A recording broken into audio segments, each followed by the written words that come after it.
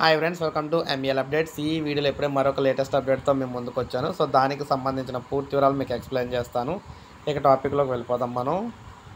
So YSRCP Jai Ho BC మహాసభ live updates అయితే మనం చూస్తున్నాం. వరుసపెట్టి మంత్రులందరూ కూడా బీసీ మహాసభలో దంచి కొడుతున్నారన్నమాట. సో అన్ని కులాలకు ప్రాధాన్యత ఇచ్చారని చెప్పేసి ముఖ్యంగా ఇక్కడ సిదిరి అప్పలరాజు గారు అయితే తెలియజేశారు. ఇక నెక్స్ట్ చూసుకున్నట్లయితే మళ్ళీ జగనే గెలిపించుకోవాలని చెప్పేసి మనకి ఎమ్మెల్యే పోతులు సునీత అయితే పేర్కొన్నారన్నమాట. సో ఇలా ఇలా మొత్తం మంత్రులందరూ కూడా దంచైతే కొట్టారు. రెండు వేల ఇరవై నాలుగు ఎన్నికలకు మేమంతా సిద్ధంగా ఉన్నామని చెప్పేసి ఇక్కడ జోగి రమేష్ గారు అయితే అన్నారు. ఇక నెక్స్ట్ అనిల్ కుమార్ గారు చూసుకుంటే బీసీలకు సీఎం జగన్ ఇచ్చింది ఆల్ టైమ్ రికార్డ్ అని చెప్పేసి ఈయన అయితే నెక్స్ట్ నూట డెబ్బై ఐదుకి నూట డెబ్బై ఐదు గెలిపించుకుందామని చెప్తున్నారు.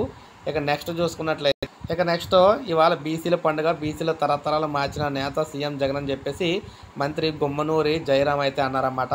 ఇక నెక్స్ట్ పౌర సరఫరాల శాఖ మంత్రి చూసుకున్నట్లయితే ఈయన ఎనభై వేల మంది పైగా బీసీ ప్రజాప్రతినిధులు హాజరయ్యారని చెప్పేసి కారుమూరి ఇక నాగేశ్వరరావు గారు అయితే తెలిపారు. ఇక నెక్స్ట్ చూసుకున్నట్లయితే బీసీల పల్లకి మోస్తున్న మహానేత జగన్ అని చెప్పేసి ఇక్కడ పూలే ఇక్కడ చెందిన ఇక్కడ పూలే సమానమైన వ్యక్తి జగన్ అని చెప్పేసి ఇక్కడ ఉషశ్రీ చరణ్ గారు అయితే అన్నారన్నమాట మంత్రి. నెక్స్ట్ విడుదల రజనీ గారు చూసుకున్నట్లయితే మొత్తంగా సీఎం జగన్ బీసీ బాంధవుడు అని చెప్పేసి కొనియాడడం అయితే జరిగింది. ఇక నెక్స్ట్ ఎంటర్ అయ్యారన్నమాట జగన్ గారు.